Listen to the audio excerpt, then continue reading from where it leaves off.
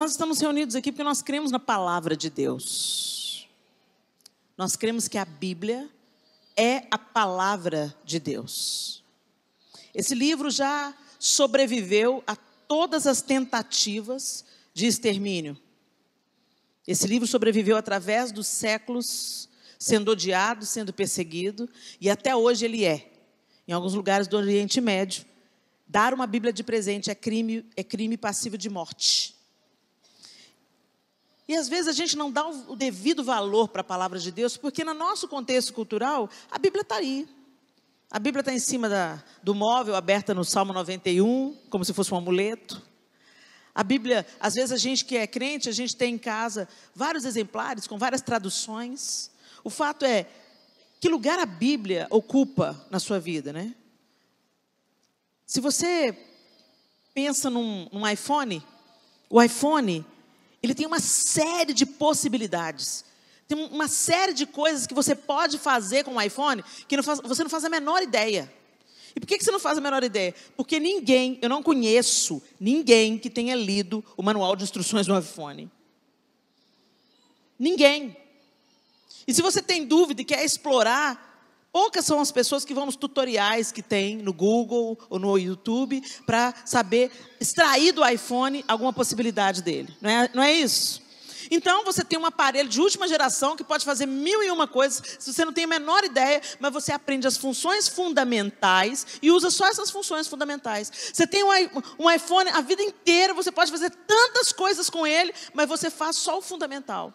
Você entra lá nas suas redes sociais, tira uma foto de vez em quando, põe uns aplicativos, uns filtrinhos e tá bom. E quase você não usa o telefone mesmo. Você usa o WhatsApp, você usa uma série de outras coisas, mas mal, mal você usa o telefone mesmo. O fato é, você não usa tudo, todo o potencial, você não extrai dele tudo que você pode extrair, você não usufrui tudo que você pode usufruir. E na nossa vida a mesma coisa. Deus criou todas as coisas e colocou nas nossas mãos o manual de instrução. Mas a gente não alcança o nosso potencial, não, vida, não vive a plenitude que nós temos que viver, porque a gente só conhece o fundamental. O Senhor é meu pastor, nada me faltará, porque Deus amou o mundo de tal maneira que deu seu Filho unigênito, e por aí vai.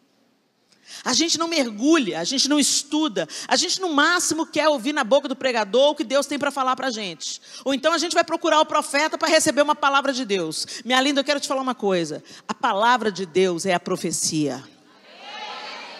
Então entra no seu quarto, fecha a sua porta e vai conhecer o Deus a quem você pensa que ama. Foi esse o conselho que eu recebi da pastora Zenete, quando eu já estava vários anos dentro da igreja, vivendo a religião e não o relacionamento com Deus.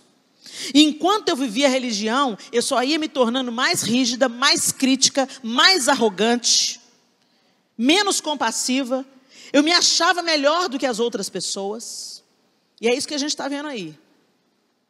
Quando a gente olha, quando eu fico vendo nas redes sociais o quanto que um crente, em nome de Deus, pode ser a cara do diabo, eu fico pensando, meu Deus, que Jesus é esse que essa pessoa conhece? Que Bíblia é essa que essa pessoa está lendo?